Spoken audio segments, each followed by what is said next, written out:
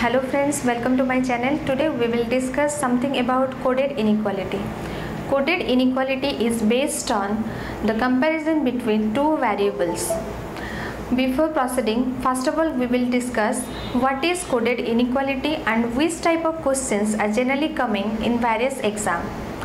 From this section, there are five questions are always coming in every bank exam. The format of coded inequality is based on some statement and conclusion like we have read in syllogism chapter. But in this particular topic, we deal with some symbols. You may remember the symbols when you was in school.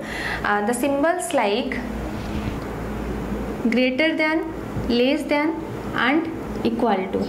And based on these symbols, the question will come like some statement is given and based on the statements you need to find out which conclusion is definitely correct. Then first of all we will go through some simple basics so that you will understand the fundamental of coded inequality clearly. And after that we will go for further discussions.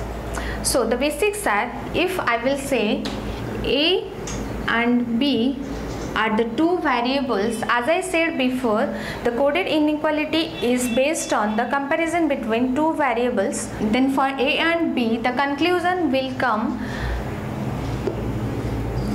A greater than B A less than B A is equal to B. These are the simple comparison that can be derived. Rather than this, some more conclusion can be make out. Let us discuss about that. These are if I will say A is neither greater nor equal to B.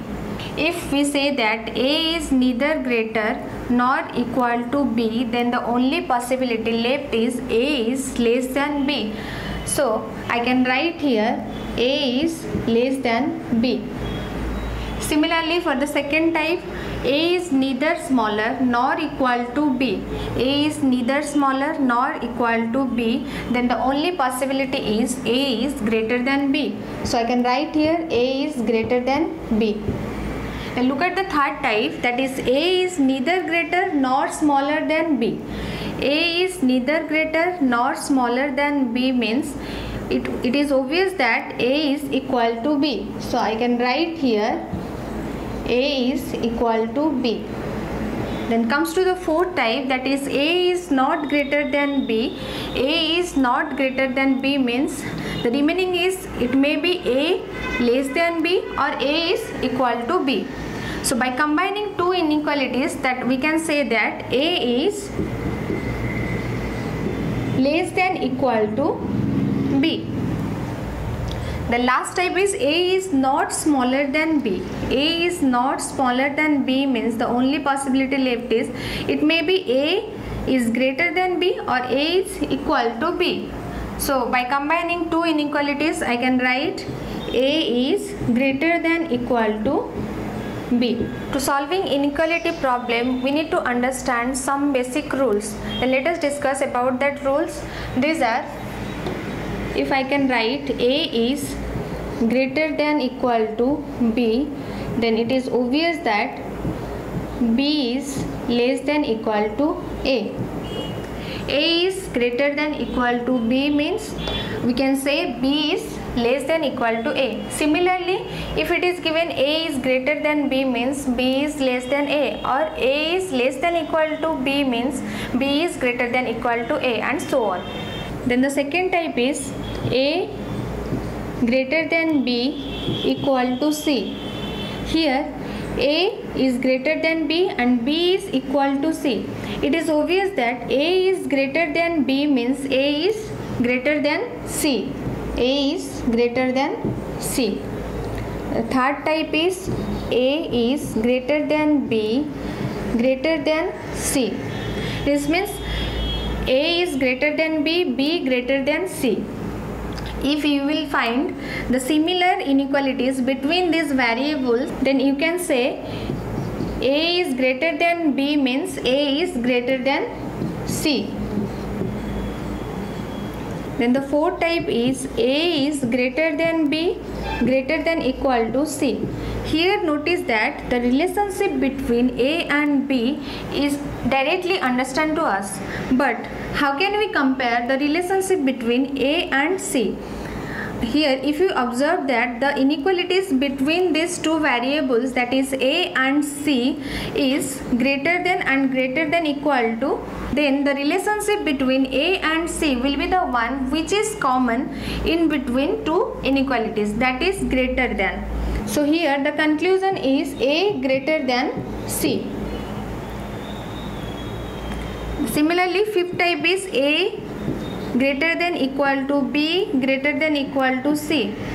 Like the third option a is a is greater than b and b is greater than equal to c. These are the similar inequalities between these variables. So i can directly write here a is greater than equal to c. Then the next type is if i can write a is greater than b and less than c this is the most important type. Remember this. If it is given a is greater than b and b is less than c here we can say b is less than a and b is less than c. If these two similar cases are there like b is less than a or b is less than c then the relationship between a and c cannot be compared.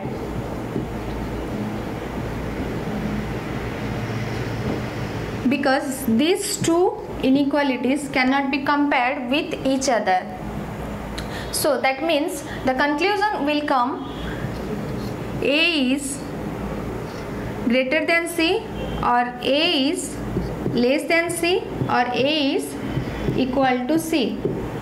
So whenever you find the similar cases like B is less than A or B is less than C, then the relationship between A and C cannot be determined. Similarly, A is greater than B, greater than A is similarly A is greater than B, less than equal to C or A is greater than equal to B or less than equal to C or A is greater than equal to B or less than C or so on. In these cases, if two inequalities are there, these two cannot be determined.